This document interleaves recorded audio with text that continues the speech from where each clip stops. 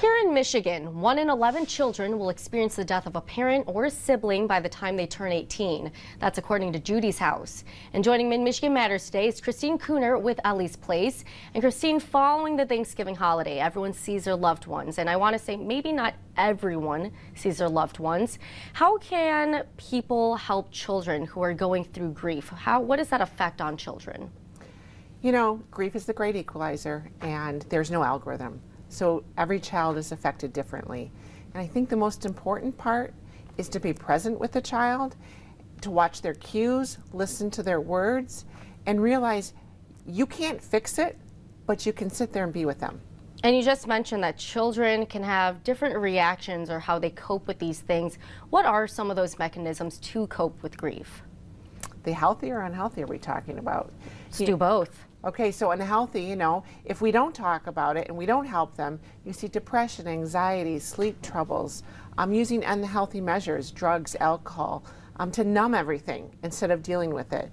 You know, healthy is sitting with the person. Of course, Ele's Place, our peer-to-peer -peer grief support, um, talking about it. Let's not pretend that the person is, isn't there. The child, everyone who's experienced the death of someone, is feeling it every day. And so you mentioned that parents, loved ones, even Ele's Place has resources to listen and really hear what the child is going through. So you have a little thing in your hand that says flip the script.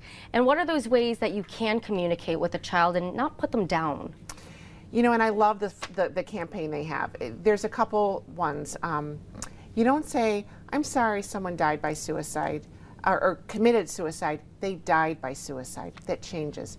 To a child, you don't say, I'm sorry you lost your dad, because if they're young, they're going to try and find them, because that's what they do. Mm -hmm. uh, I like this one. You need to be strong. No.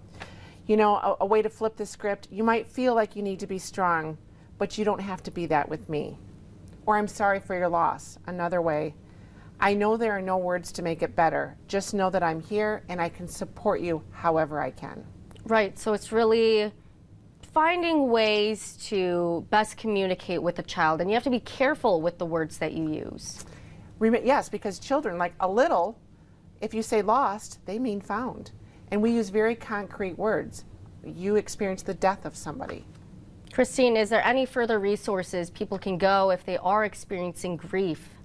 You know, you can always call, call Ele's Place at 482-1315.